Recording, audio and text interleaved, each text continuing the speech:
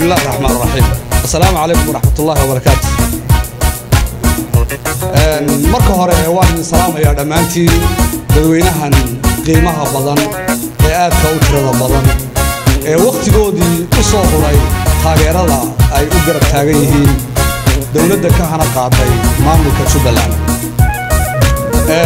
mar labaad waxaan u dirayaa aan salaamayaa bahda saxaafadda oo hadda horteeda ka muuqata oo iyaguna inoo sikhiri doona haddii ilaahay yidhaahdo sidii aaladaha casriga ah ee caalamka loogu wada xidhiidho laynagala xidhiidhi lahaa. Hadday tahay wadlaniska iyo haddii ay tahay qaybta shaashadaha ee layska daawado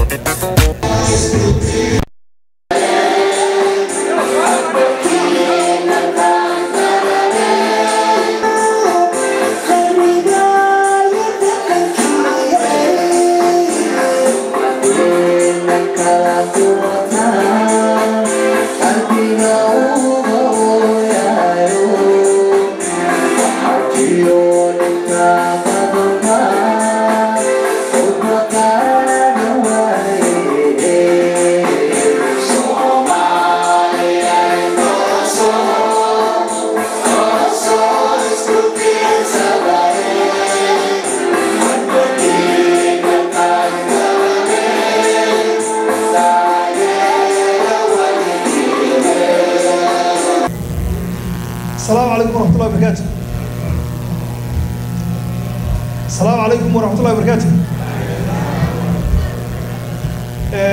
insha allah waxaynu bilaabanaynaa shirkii aynu isugu nimid xalfaddii aynu ku taageeraynay ama aynu ugu taageeraynay maamulka jubbaland. Baarlamaankii uu dhisay. Ee loo dhisay ama ay dhisteen shacabka degan saddexdaa gobol. Waxaan rabaa marka inaan ajandaheenna aan ka hadlayno caawa qeexo haddii ilahay ka raali noqdo. Caawa waxaynu isugu nimid oo aynu isugu nimid caawa waxa weeyaan taageero iyo tahaniyad iyo bogaadin. Aynu bogaadinayno oynu taageerayno maamul goboleedka jubbaland baarlamaanka uu samaystay ee la sameeyey maalinkii khamiistahayd calamusaarkiisi la sameeyey.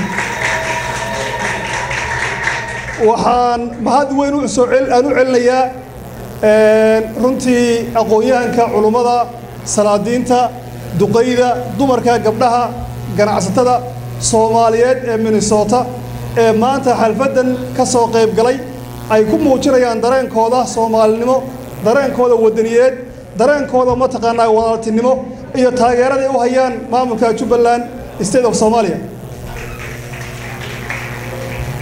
Waxaan waxaan rabaa inaan wax yar ka idhaahdo jubbaland waan ognahay saddexdii sane u dambeysay ama labadii sane u dambeysay marxalada ay soo martay. Dadkan hortayda fadhiya iyo in inaga maqanba waa dadkii wakhtigooda iyo enerjigooda iyo timekooda u huray weeye. Jubbaland inay maanta soo istaagto meesha ay taagan tahay aad baan idinku mahad celinayaa wakhtigiina qaaliga aad ku soo horteen xalfaddan caawa waxaan waxaan ayadana aan aan bogaadin u dirayaa oo runtii aan dhihi karaa kaalintii kaga aadanayd dhismaha maamulka jubbaland ayuu ka qaatay madaxweynaha dowladda federaalka ee soomaaliya mudane xasan sheekh maxamuud. Waxaan sidaas si leeg aan aan taageero aan u dirayaa salaan iyo mataqaanaa hambalyo beesha caalamka international community aynu u naqaano urur goboleedka igad oo dhihi karo waxay ka ahaayeen hawfudayaal barnaamijkan isaga ee socday oo runtii wakhti aad u fara badan iyo energy iyo timeba geliyey dhismaha maamulka jubbaland dowladaha dariska ah ee u soo gurmaday soomaaliya guud ahaan gaar ahaan jubbalandna aad baan runtii etoobiya iyo kenya khaasatan aan u mahad celinaynaa hawsha qiimaha badan oo ka hayaan gobolka.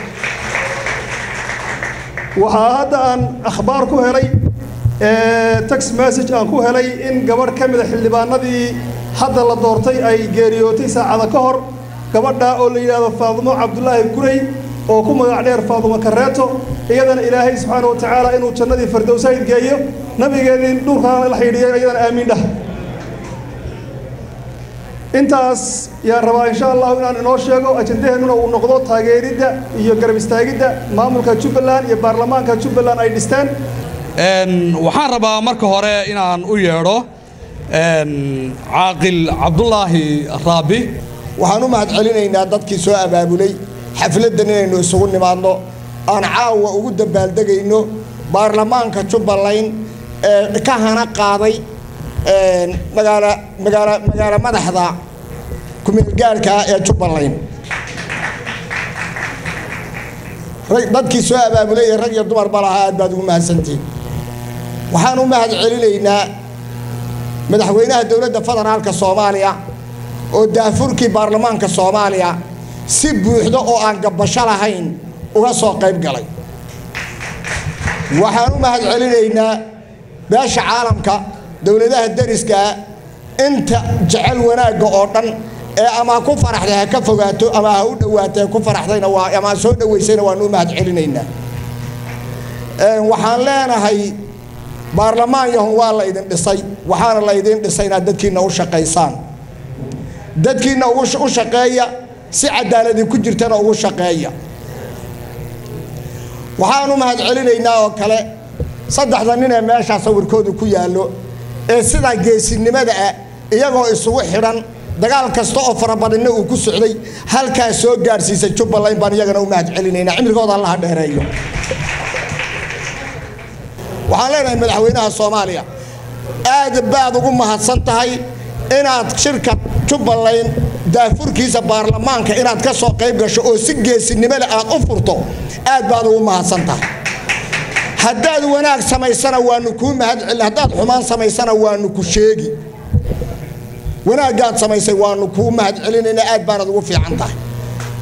Waa inaad waa inaad puntland iyo garowe markii aad tagtay wixii aad shir saxaafadeedka aad ka soo jeediseenna waa inaad kaga dhabaysaa sida aad u tiri maamul goboleedka puntland lama kala goynayo lamana taabanayo. Kaga dhameeyo xamar markaad dib ugu soo noqoto. Albaabo kale yaan wax lagaaga sheegin. Waddankaadaa mas'uulka madaxweynaha soomaaliya sidaasaan leenahay. Waxaan leenahay soomaaliya ha israacdo xumaantu ha ka baxdo. Waxaan leenahay maamul goboleedada gobollada dhexena waxaan leenahay sidaasoo kale ha loo sameeyo waanu soo dhowaynaynaa cid kasta oo maamul goboleed samaynaysa waa dad soomaaliyeed. Bismi illaahi raxmaan iraxiim waxaan salaamayaa dhammaan waxaan salaamayaa dhammaan dadkii soo qabanqaawiyey xaafad xafladdan sharafta badan ee lagu maamuusayo caleemasaarka maamul goboleedka caleemasaarka baarlamaanka maamul goboleedka jubbaland waxaan kaloo u mahadnaqayaa dhammaan inta ka soo qayb gashay ajiibtay inay timaado xafladda tan. Waxay taariikhda islaamka xusaysaa inuu jiray islamic shuro system oo u dhisnaa sida nidaamka parliamentary institution. Waxaa kaloo jiray baarlamaankii mesobotamiya sida taariikhda milaadiga ku xusan barlamentariga institutionkii ugu horreeyey ee laga dhisay adduunka waxaa la sameeyey sagaal boqol iyo soddonkii kadib dhalashadii nebi ciise. Kaalinta ugu weyn ee baarlamaanka waa saddex qayb qaybta koowaad oo ah representation oo ah matalaadda shacabka. Baarlamaanka la dhisay ee jubbaland wuxuu matalayaa shacabka soomaaliyeed. Waxaan filaynaa aanu ognahay dhammaanteenba in xubnaha baarlamaanka ay ku yimaadeen nidaam qabiil ah oo si waxaa loo soo xulay nidaam qabiil ah. Laakiin markuu ninka xildhibaanka ah ku dhaarto kitaabka alle ee uu gacanta saaro una dhaarto inuu u shaqaynayo shacabka reer jubbaland wuu ka gudbay marxaladdii qabiilka oo wuxuu noqday nin u shaqaynayo shacabka ama bulshada reer jubbaland. Qodobka labaad oo ah waa qodobka labaad oo ah sharci dejinta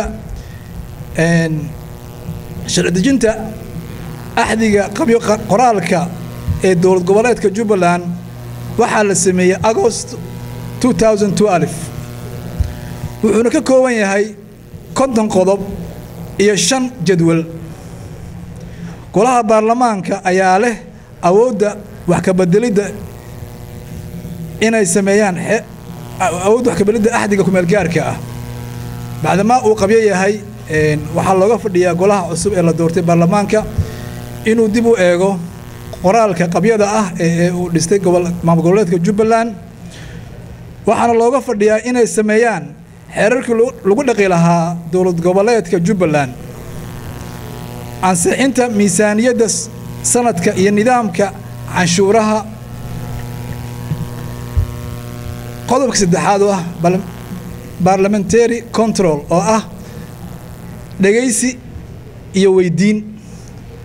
La xisaabtanka xukuumadda dowladda dowlad goboleedka jubbaland dhexdhexaadinta khilaafaadka. Haddaba bacdamaa howl adag ay u taallo xubnaha la doortay ee baarlamaanka kumeelgaarka jubbaland waxaan ku bogaadinayaa ama aan rajaynaynaa inay noqdaan kuwa sidii loo doortay xilkooda u gutay waxaan jeclaan lahaa iyadoo wakhtigu iska kooban yahayba inaan in yar inala qaybsado dhulka la yidhaahdo jubbaland. Xeerarkii soo jireenka ahay ee jiri jiray ama la ohan jiray xeer aji ee dadka deegaankaasi ay ku dhaqmi jireen. Xeerkaasi wuxuu ka koobnaa boqol iyo afar iyo toban qodob wakhti uma helayo aan ku sharxo laakiin waxaan soo qaadanayaa qodobka koowaad iyo qodobka ugu dambeeyey. Qodobka koowaad xeerka aji dhaqan cajiiba ayuu ahaay haddii laba beel ee isdagaasho uu dagaal dhex maro ama laba qoys ee qof iska dilaan dhaqanka wuxuu qorayey ama dhigayey qoyska qofka laga dilay inuu gogol dhigto dabadeedna uu u yeedho dhammaan dadka la degan deegaanka la degan uu u yeedho kadibna ay dalbadaan ninkii ninka dilay reerkooda in la dalbado gogashaa loogu yeedho hadduu ka dhaga adeego qodob kalaa yaallay oo dhammaan beelaha reer jubbaland waxay isku raacayeen in wax laga qabto cidda ku dhaga adeegtay qodobkaasi. Dabadeedna wuxuu hataa gaarsiinayey in si wada jir ah tallaabo degdeg oo sharciga looga qaado qodobkaasi waa qodobkii ugu horreeyey qodobka ugu dambeeyena wuxuu ahaay dhaqanka dadka reer jubbaland. Dadku soomaalidu waa taqaanaa waa reer guuraa miyiga dego. Marka qof martiya kuu yimaado oo reerka miyiga u yimaado dhaqanka waxaa weeye qofkaasi waa la sooriyeynayaa waa la soo dhowaynayaa gogol baa loo dhigayaa. Kadibna markii qofkaasi la sooriyeeyo oo gogasha loo dhigo oo habeenkii seexdo subaxdii baa la weydiinayaa halkee u socotaa iyo reerkee u socotay markaasaa la weydiinayaa. Laakiin haddii ay dhacdo qofka martida ah haddii hadday dhacdo in la weydiiyo qabiilkiisa marka uu soo hoydo xeer baa ka yaalay qodob la yidhaahdo muraado ayaa lagu qaadi jiray qofkaasi. Qofka dembigaa ku dhaca ee qofka martidiisa a weydiiyey qabiilka uu yahay waxaa la samayn jiray waxaa laga qali jiray neefka irmaanka ah oo reerka macnaha u irmaan ama neefka gaadiidka laga qali jiray. Hadduu diidana qodob dadka deegaanka isla degan ee isla qaateen oo oo adag baa lagu qaadi jiray. Marka qofka had iyo jeer qodobka qodbo qodobka ka dambeeya uu ka sii adkaay sidaa awadeed waxaa uu ogolaan jiray in laga qalo neefka irmaanka ah ama laga qalo maxaa la dhahaa neefka gaadiidka ah. Qodobkaasina waxaa la odhan jiray muraado. Haddaba iyadoo aan ku sii dheeraanaynin waxaan ku soo gabagabaynayaa in xalka ummadda gobollada jubbooyinka dega lagu raadiyo qaab ku dhisan isqancin iyo tanaasul waxaa sharaf weyn ii ah inaan maanta ka soo qayb galo munaasabadda tan aynu ugu dabaaldegayno baarlamaanka dowladda dowlad goboleedka soomaaliyeed ee jubbaland. Waxaan u mahadnaqayaa dhammaan dadkii soo qabanqaabiyey isku soo dubariday. Waxaan u mahadnaqayaa dhammaan qurbajoogta soomaaliyeed ee ku nool gobolka minnesota. Gaar ahaan waxaan si gaara ugu mahadnaqayaa qurbajoogta soomaaliyeed ee ka soo jeedaa dowlad goboleedka soomaaliyeed ee jubbaland. Runtii wax lagu farxo weeye. Asaaska dowladnimo waxaa asaas u ah golaha sharci dejinta oo ah golaha ugu sarreeya waana golaha sameeya sharciga ummadda lagu hagayo laguna dhaqayo. Marka waxaan dhihi karaa dowladnimo rasmi ah ayaa halkaa ka taaba gashay. Aniga oo runtii khibrad u leh muddadii u dambaysay siddeeddii sannadood ee u dambaysayna la shaqaynayey haweenay ka ah aqalka sanadka maraykanka xubin oo aad soo doorateen idinkoo la yidhaahdo u s senator emy colobashar waxaan dareensanahay maamulka jubbaland haddii baarlamaankiisu shaqadii loogu talagalay ka soo baxo inay samayn doonaan shuruuc ummadda anfacda oo lagu hago waxaan u rajaynayaa nasiib wanaagsan iyo inay guulaystaan hoyaalay hoyaalayey hoyaalayey hoye. Allaheedhe hoyaalayey hoyaalayey ho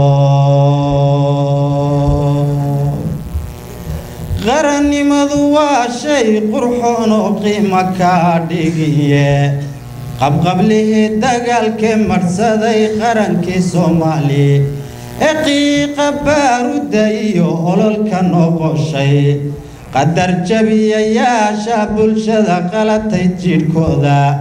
Qadiro wallaayow dadkii way qabjabiyeene qof intuu ka nool yahay ma jiro nabad qaboobane qabrigay ka buuxan dadkii qimiga lahaye qooma meeya soomaaliyey waad isqalateene hooyada warabuu qarriga qalaya jidhkeeda quud la'aan kuwa badaha gale mawjaduu qaadi. Ee nibiri qate kalluunqudan hilibkooda qabri lagu rida lagu samraqaydna loo xidha e maydka quban bannaanada ayaanoy qirada ee qajilaad ma laha ruuxib laysqatay badankiiyo qomameya. Soomaaliyey waad isqalateene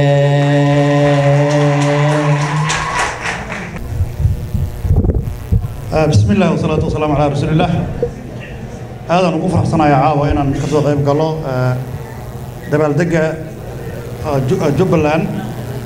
Jubbaland waxay maanta waa dowlad goboleedyada jira dowlad kuwa ugu horreeyey ayay ka mid tahay iyada iyo puntland. Marka waan taageersanahay anigu hadda waxaan u imid inaan idinla qayb qaato dabaaldeggan iyo baarlamaankan cusub. Soomaaliyana aan u duceyno marka meel walbo soomaali ay isku imaanaysa anigu waan taaganahay. Oo marka waxaan aad halkan ugu mahad celinayaa madaxweynaheena jubbaland sheekh axmed islaam oo ahaa nin yacni aad u qiimo badan una dhabar adeegay inuu soo gaarsiiyo maanta khaasatan dadka gobol degan jubbaland u qeybiyey baarlamaankii si cadaalad ku jirto. Hadda wax qaylaha haddii lahayd anaga kama maqal madaxweynihii madaxweyne xasan sheekh madaxweynihii dowladda federaalkana waa taageeray. Marka waxaan leenahay waa guul hadda u soo hoyatay hadda kolley hadda aniga ismaaciil ugaaski ahaan waa taageersanahay jubbaland. Caawana meeshan waxa ay keenay inaan taageero. Cod dheeraan ku taageeraynaa jubbaland anaga waa taageersannahay. Markhaatina ka ahaaday mudanayaal iyo marwooyin. Assalaamu calaykum waraxmat ullaahi wabarakaatu bismi illaahi araxmaani araxiim noloshu waa halgan. Halganka wuxuu ka bilaabanayaa shaksi wuxuu u gudbayaa qoys. Wuxuu u gudbayaa qabiil.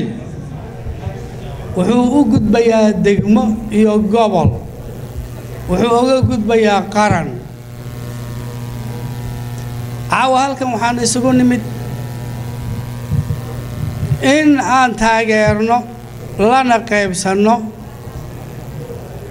farxadda iyo guusha ay gaareen raggii u soo halgamay in ay maamul u sameeyaan saddexda gobol ee jubbaland.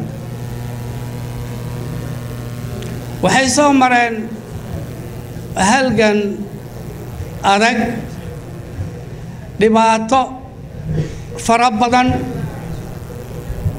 Waxaa u surowday in la aqoonsado qaran ahaan iyo qaarad ahaan iyo adduun ahaanba maamulka ay u sameeyeen saddexda gobol ee jubbaland.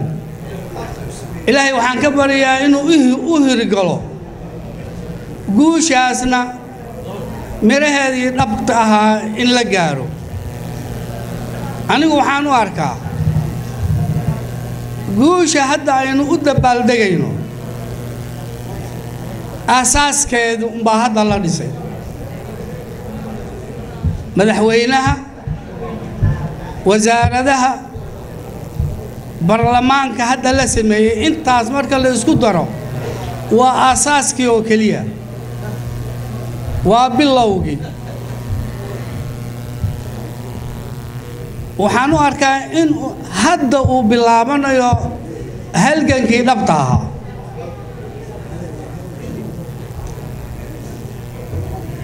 Farxadda aan caawo annaga oo malaha toban kun oo mayl u jiro u jirno jubbaland aan ku halkan oga dabaaldegayno waxaan ilaahay oga rajaynaynaa inuu dhabo dhaboobo oo marihiisii runta ahaa la gaaro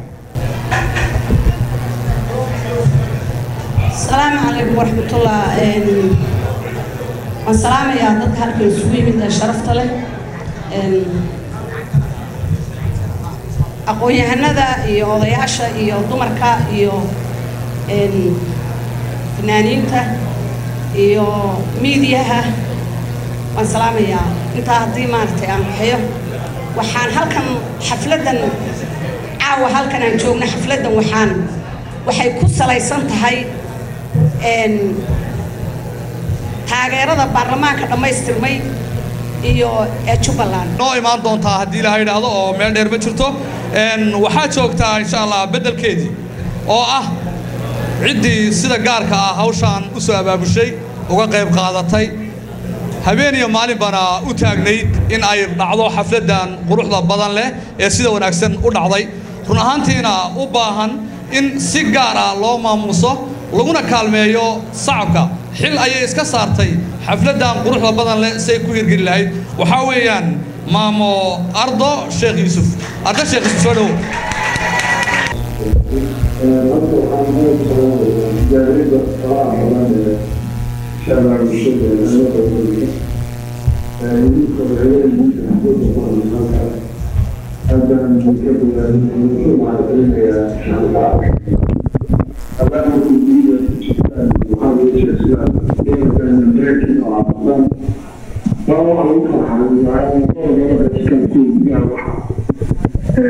kajira gudaheena qoladina dibadda joogtaan la qaybsataan aad baan idinku mahadcelinayna waana idin hambalyeynayna waxaan leenahay dadaalka intaa ka badan uga sii dhawaada waxa idiin badanna waxa weeye idinkoo dhulkii iyo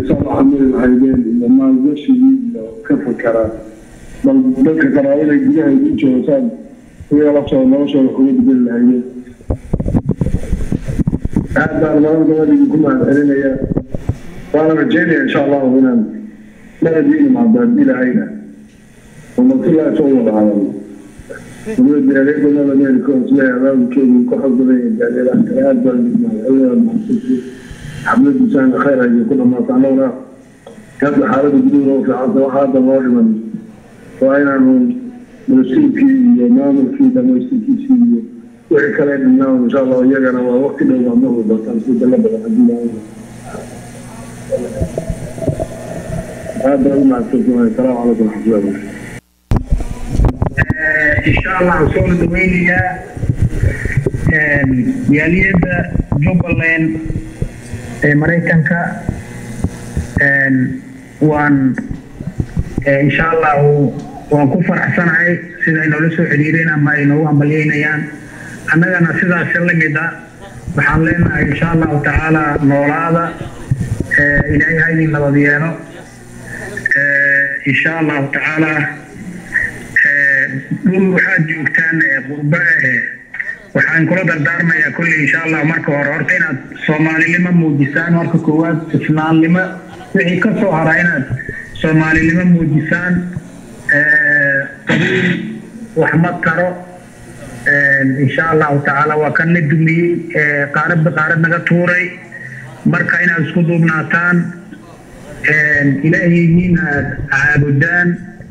Insha allahu tacaala ummadiinana aad ka warhaysaan intaasaan horta marka hore salaanta iyo hambalyada kadib intaasaan rabaa inaan idiin sheego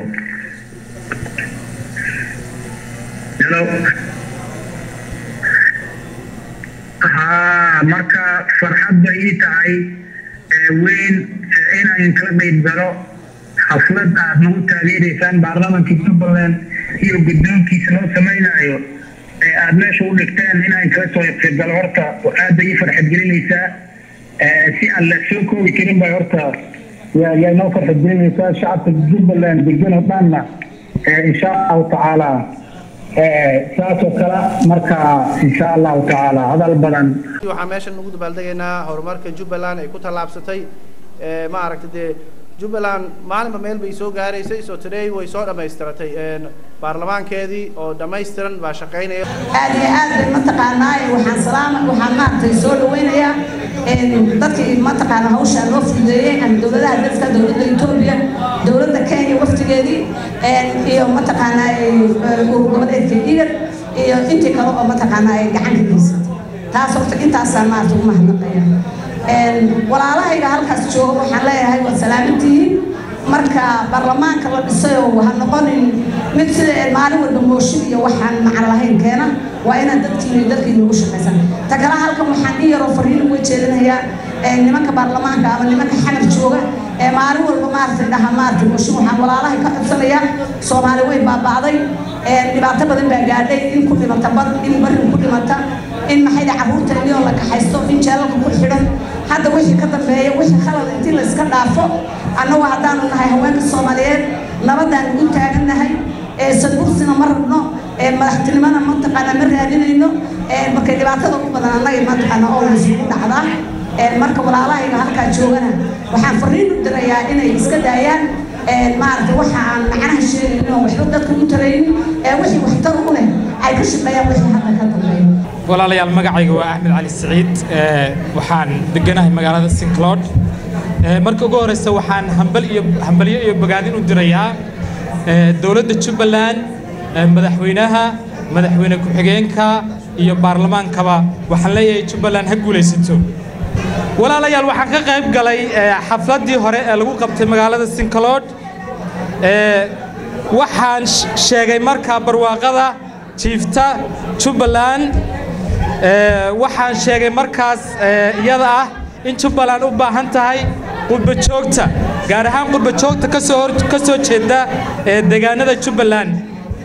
Markaa dib ugu noqon maayo ma doonayo inaad dib ugu noqdo? Wakhtiga oo kooban awgii waxaan dhihi lahaa jubbaland way nagidaho naqiyo roob baa ka da'ay dhulkii nabad iyo wanaag nidaam baa lagu dhaqaa. Walaal ha nusqaaminine nac iyo nabarrada ka daa.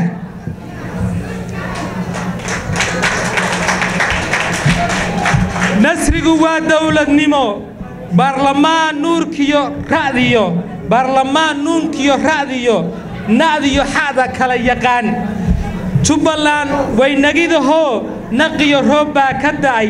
Dhulkii nabad iyo wanaag nidaam baa lagu dhaqaa walaal ha nusqaaminine nac iyo nabarrada ka daa.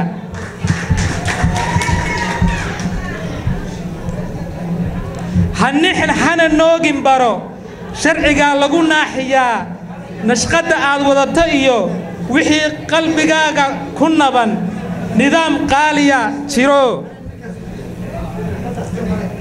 Fidnada naayaaha odhan. Lur iyo haw yeedhan belo jubbaland way nagidahoo naqiyo roob baa ka da'ay. Dhulkii nabad iyo wanaag nidaam baa lagu dhaqaa. Walaal ha nusqaaminine nac iyo nabarrada ka daa. Waa mahadsantiin salaamu calaykum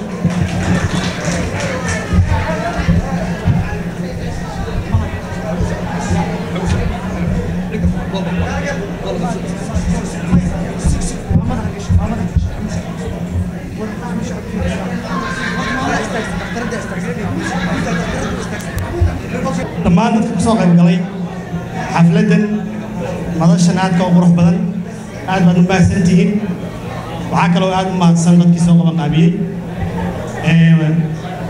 fikirkii iyo geliye waktiga kollay sidaa caawdad maqlayseen xafladdan waxay ku saabsanayd sabood boogaadinta iyo taageeridda baarlamaanka loo yagleelay jubbaland state of somalia.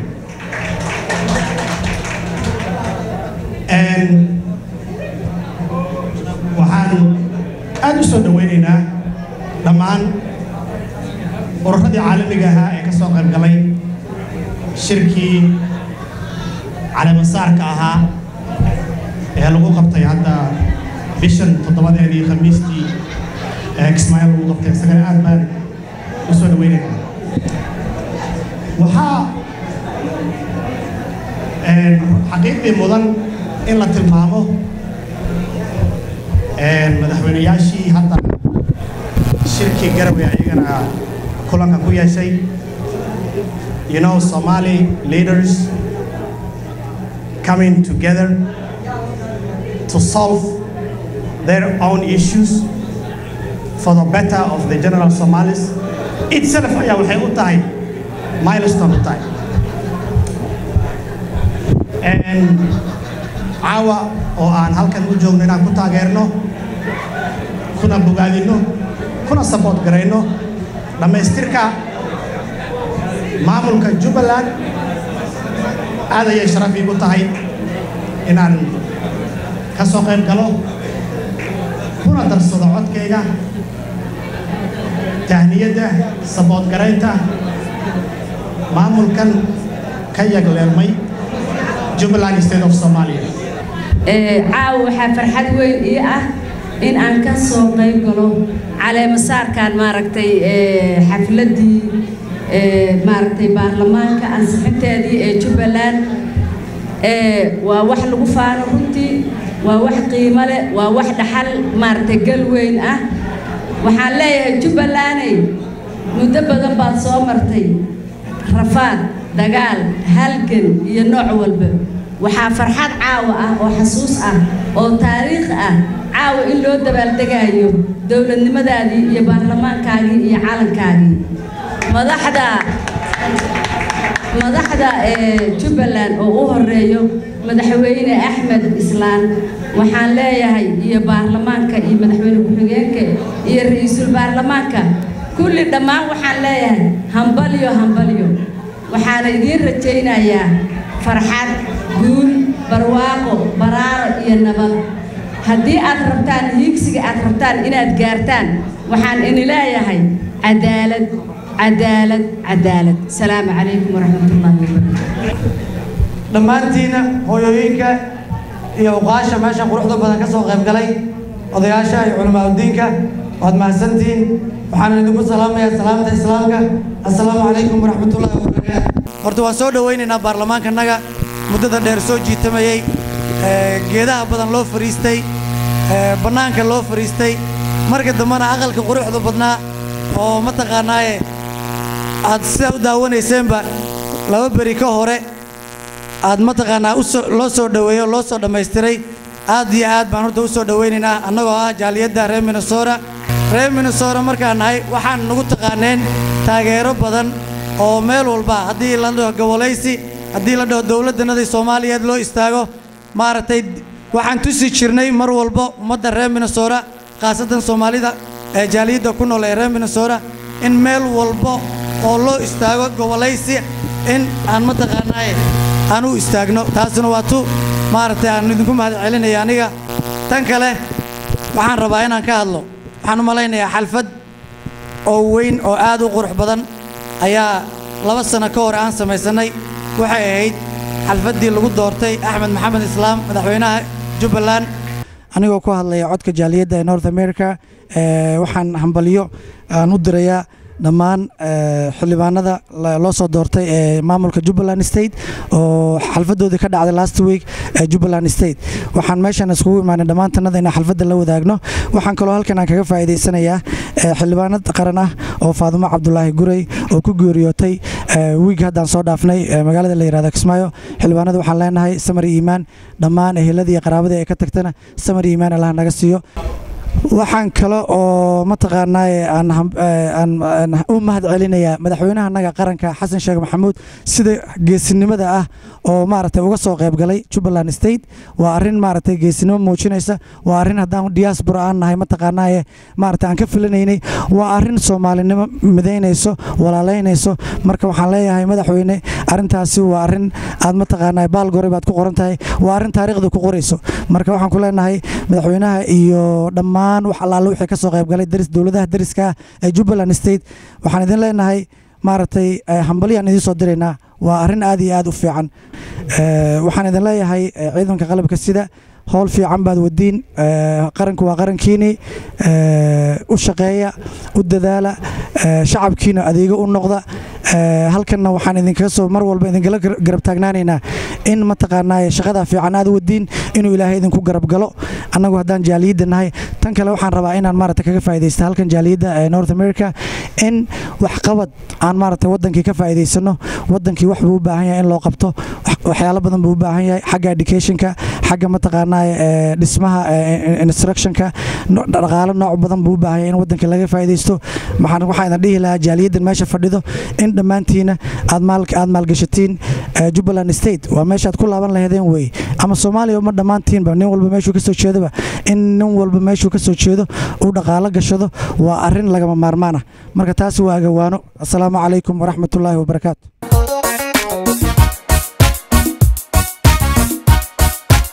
Thank you.